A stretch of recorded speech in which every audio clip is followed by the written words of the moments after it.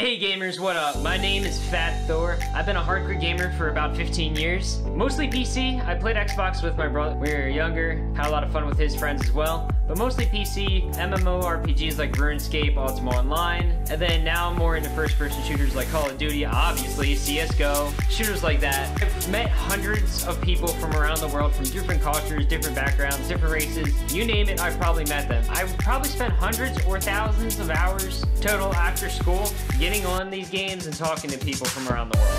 It is such a fun experience for me to be able to do this with the internet, being able to meet people from around the world and connect on a deeper level. But here's the deal, video games were my only addiction. And this replaced every other addiction like alcohol, hardcore drugs, and when I was playing video games. I know a bunch of you watching this video are probably dealing with parents or girlfriends or whatever that say you're wasting your time on video a